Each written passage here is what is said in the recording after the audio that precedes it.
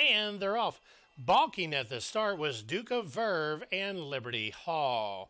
Down the backside, they travel and grab a lead Mansion Party leads now by a length and a tail.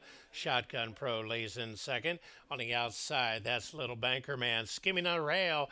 Duke of Verve takes an opening on the inside, and Duke of Verve now takes over the second spot. Benito and trailing the field is Liberty Hall.